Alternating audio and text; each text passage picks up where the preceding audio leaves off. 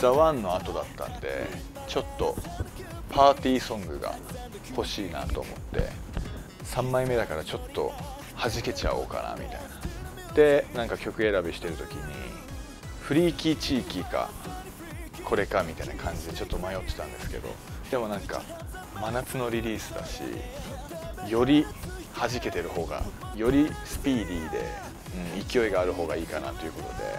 あのこの曲をチョイスさせてもらいましたね。結構あのこの曲のライターでもあるシリアスっているんですけどこのシリアスとの相性が結構やっぱ自分良くてというかその声の鳴りだったり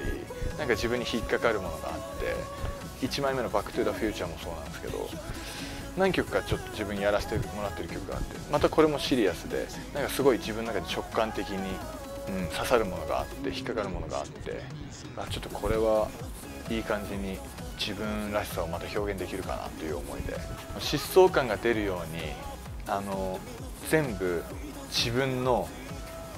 これあの自分で歌詞書いてるから裏技なんですけど自分で歌詞書いてるとやっぱり自分の一番得意な母音でトップの音を持っていけるというかここの音はこの母音でとかここの最後の語尾は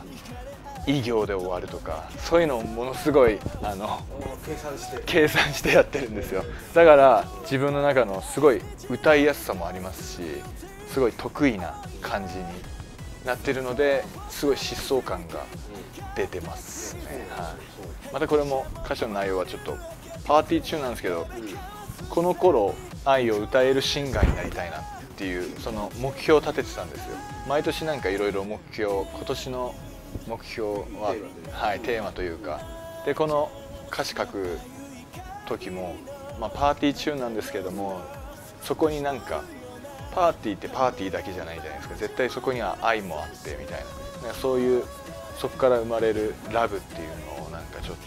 アップなんですけどそこで表現できればなと思っていて。だからラブソングっちゃラブソングなんですよ自分の